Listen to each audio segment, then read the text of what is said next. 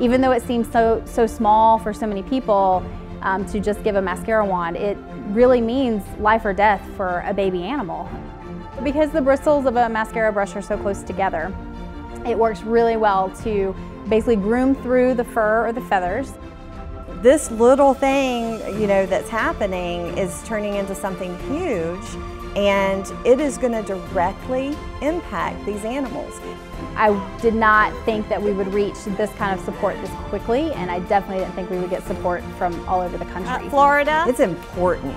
It, it's so critically important to saving lives. We met with our board and said, it's, we have to do something and we need to do it fast. Our plan is becoming real. We can see it. It's going to happen. A full service wildlife rehab facility in Western North Carolina.